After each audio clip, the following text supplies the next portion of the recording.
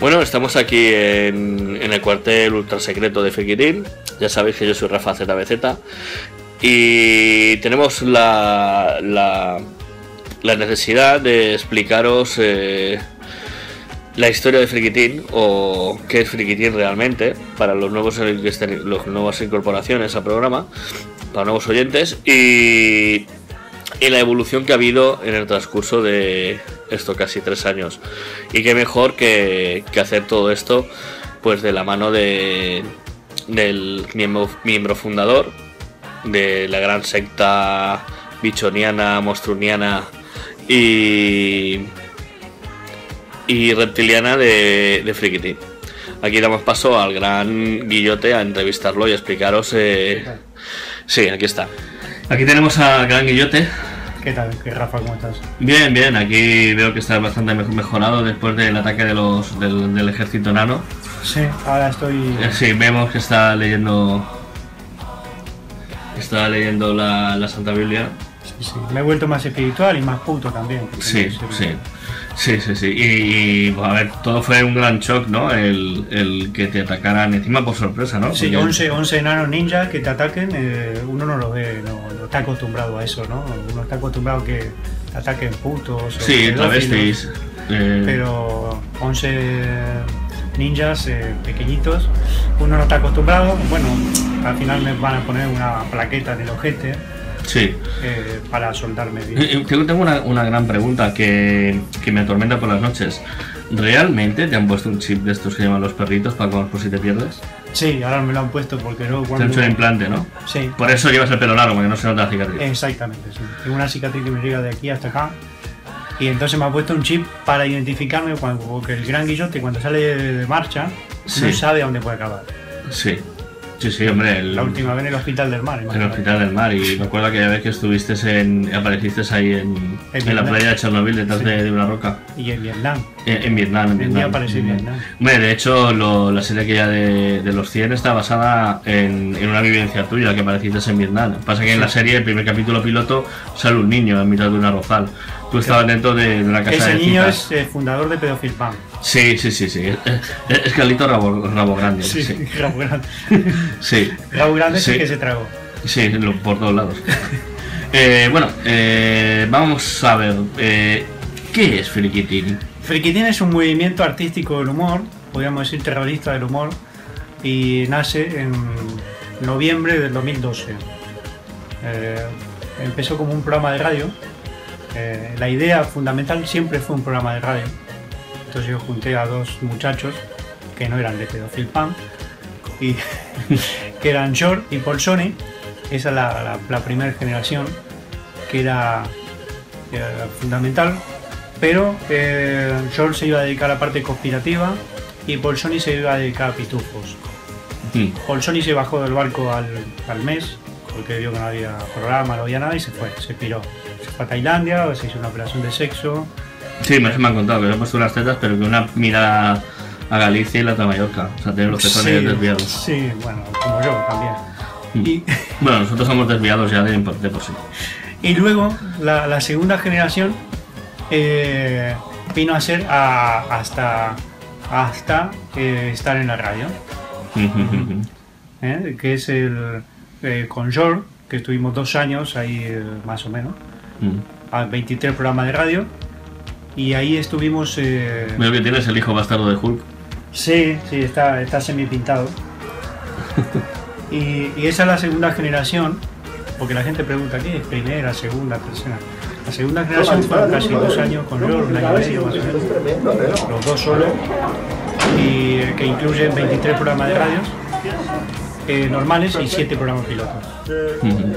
Que George, bueno, ha dejado el programa. bueno, ha dejado un buen, un buen, legado. Sí, sí, ha dejado el proyecto por circunstancias eh, paranormales, parece que se va a Ibiza, que le rompan el ojete, y entonces no puede compatibilizar en lo que es el... Bueno, me han dicho que el cabildo de, Ibiza lo, han, nombrado persona non grata en, toda la isla.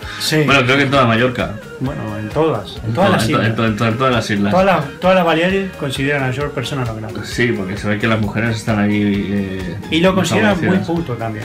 Sí, sí, sí. Y luego vino la tercera generación, que la tercera generación, el primer miembro en llegar a Friquitín, que fue Rafa. Eh, Rafa siempre estuvo ahí eh, En la sombra. en la sombra, podríamos decir que Rafa siempre casi como que, que pertenecía a Friquitín. Ujú. Pasa que no, no se daba la... La, la, la, la conjunción de los astros. Sí, o de los objetos, ¿por qué no? Sí, a ver, eh, el objeto único, el famoso objeto único. Que es, es que Rafa estaba buscando el, el objeto El plateado. exacto. El de oro. Y entonces yo necesitaba, eh, quería hacer, mi, mi idea siempre fue, luego de que George haya hecho el deceso de Friquitín, mi idea era dos miembros, un- uno masculino y una mujer. Y entonces cogí primero a Rafa y luego se me ocurrió Surama también. Mm. Y esa va a ser la tercera generación la que va a continuar. eh, los últimos programas creo que hubo cuatro con Surama y seis con Rafa, o siete.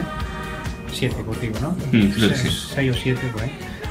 Y bueno, y esa será la, la formación de la tercera generación. Va sonando cosas. Es, Es- como el expediente Warren en tu casa. Sí. Esa será la, la tercera generación que arrancará la siguiente temporada de Friquitín, que serán eh, Guillote, eh, Rafa ZBZ y Surama. Y será la tercera generación que esperemos que no venga ninguna cuarta o cuando venga la cuarta tardemos mucho. ¿Y, y tu opinión sobre la, la tercera generación?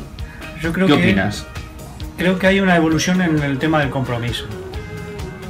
Porque tengo que contar que los últimos 10 programas con George prácticamente no había ningún compromiso, parte de él. Mm. Solo se presentaba a la radio y no quería hacer nada, o sea, no había ningún compromiso. Y esta parte, esta tercera generación, creo que tiene más compromiso con el proyecto que la anterior. Eso espero. Si no, Mm. una patada en el ojete a los dos también, claro. Sí, no, es normal, normal. Ah, también me pueden dar una patada en ojete. ¿Y, y qué esperas que, que suceda al transcurso de los primeros seis meses de, de Friquitín tercera generación?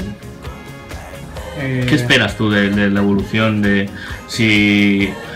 a ver, la pregunta sería, ¿te da miedo la evolución que ha habido tan rápida en estos últimos dos o tres meses que de... Sí, un mes y medio más o menos. Sí, la evolución tan rápida o cambios tan... No, yo creo que es la evolución que necesitaba Friquitín. Friquitín necesitaba una evolución para arriba, no para abajo. Yo tiraba para abajo. Eh, Mm. lo trababa el tema. O sea, te- ¿cómo te puedo, cómo se puede decir? Que a lo mejor eh, te frenaba. Frenaba, frenaba, exacto. Yo veo que esta generación quiere más. Mm. Quiere progresar, quiere llevar el proyecto a lo más alto.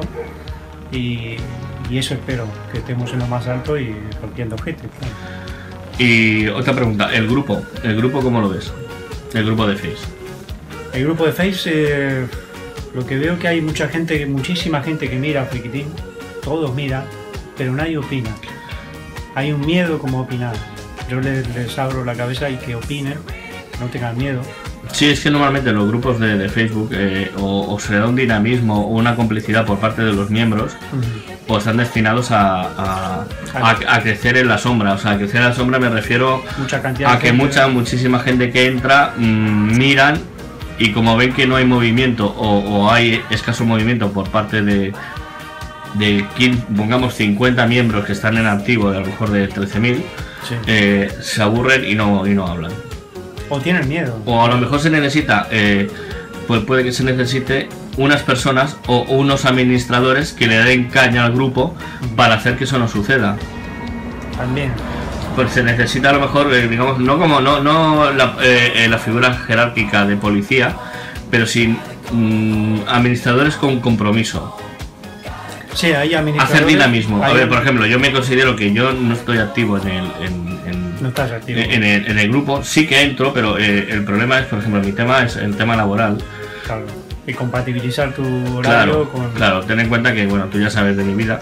Sí. Entonces, eh, eh, entre que laboras y trabajas para el tema, por ejemplo, en mi caso ahora, eh, programa de radio, un programa de radio te, te- te implica, a, por ejemplo, llamadas de teléfono, entrevistas, hablar con uno, hablar con otro. para Pensar. hacer pe- pensar en, en los gags, en, en el trabajo que hay en el programa de radio. Entonces, entre eso y mi trabajo de diario, Se te complica se te complica. Entonces, lo que se podría hacer es un llamamiento, un llamamiento a los a, a los miembros que tenemos en activo actualmente de- del grupo, Nombrar a los administradores. a, mi- a nombrar los administradores, tener, a ver, somos 13.000, pues tener eh, eh, Hay seis administradores más o menos. pues habría eh, eh, los administradores que hay que, que tengan un que se que, que también es una labor una labor de de ser miembro de Friquitín sí, por ejemplo, el otro día pusieron porno y nadie lo borró. Tuve que entrar yo. no no eh, yo he borrado unos cuantos de porno y de y, y de y de estafas que son Estafas, Sí, eso que te dicen que te van a prestar pasta y no te prestan no y que dale a este link que te entrarás en el sorteo de un consolador de oro y, Claro, y y entras luego y- y te estamos facturando SMS a saco Claro. No, no, a ver, eh, eh, creo que eso es una. Tener unos, un- unos por ejemplo, 10 eh, administradores, pero activos Y con compromiso. y- y con compromiso y con dinamismo. Con dinamismo. Bueno, son ideas a tomar en cuenta y yo creo que va a cambiar ahora y Es que a partir de septiembre tiene que cambiar todo tiene que cambiar todo porque si no cambia, eh, al carajo todo. Sí, porque el grupo me ha vinculado al programa de radio y lo que no sabe la gente es que nosotros vamos a más y que en un futuro cercano, no estamos hablando lejano, futuro muy cercano, pues eh, trabajaremos para ello. Claro. Sí, ¿Cómo? sí.